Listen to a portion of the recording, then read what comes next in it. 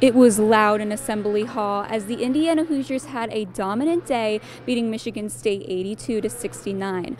Audrey Marr for the Hoosier Network. It was a statement win that it seems Indiana needed, with many players stepping up for the Hoosiers.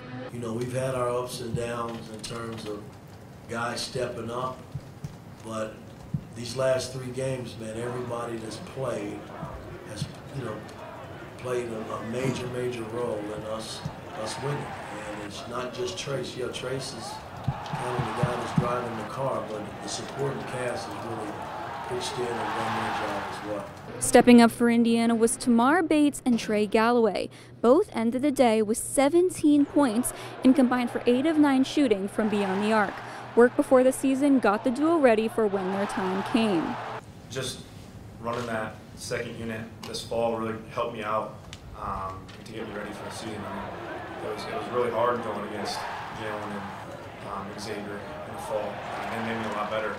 Trayce Jackson Davis raised the roof today, contributing to the win as he earned his 40th career double double. In his second 30 point game in a row, he marked it with several high profile slams and showcased his confidence afterwards. I thought I missed a few bunnies early, and um, they were kind of sitting, and then but we were moving the ball around, and they were hitting shots, and then it kind of in the second half it spaced the floor and allowed me to go one on one.